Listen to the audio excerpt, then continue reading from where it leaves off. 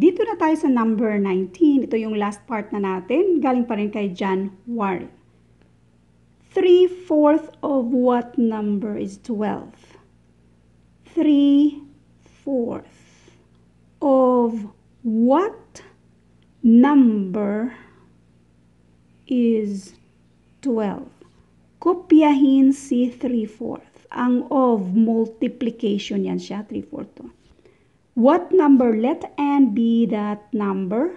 Ang is equals yan siya, 12. Para ma-isolate natin si n dito, since si 3-4 pang multiply sa n, pang divide siya sa 12. 12 divided by 3-4.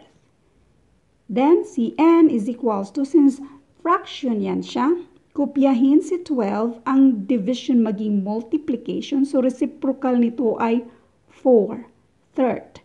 Therefore, pwede mo namang gawing ganito. Uh, 3 fourth times n equals 12. I-isolate mo si n. 12 times 4 over 3. Pwede mong i-shortcut na ganyan. Ngayon, isa pang shortcut. Mag-multiply tayo ng fraction, lahat ng whole numbers, meron yung automatic na 1 as denominator. Ngayon, usually, numerator to numerator, 12 times 4 equals 48. 1 times 3 equals 3. 48 divided by 3 equals 16. Another way, another way, 12 over 1, di ba? 4 over 3. Pwede mo man yang i-divide. 12 divided by 3 equals 4. So, itong 3 dito sa baba, maging 1 na lang. 4 times 4 equals 16. So, mas madali pa, pariho lang din ang sagot. So, 16 ang sagot sa number 19.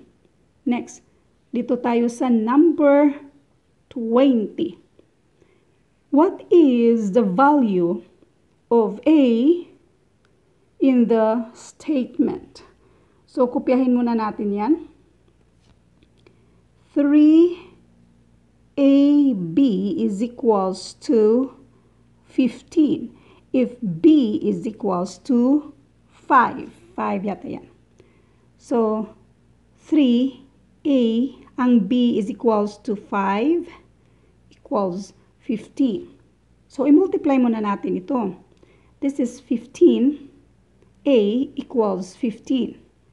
Ngayon, para ma-isolate mo si A dyan, since itong 15 dito, pang-multiply sa A, or coefficient niya sa A, pang-divide siya dito sa kabila. Now, A is equals to 15 over 15. And obviously, that is equals to 1. So, ang tamang sagot dito ay 1. Thank you for watching at kung mayroon kayong mga tanong or mga reviewers na gustong i-share, pwede kayong pumunta dito sa Philippine Civil Service Review for All na review, review group natin at pwede kayong mag-post dito. Marami din tayong mga members na haping sagutan yung mga tanong ninyo.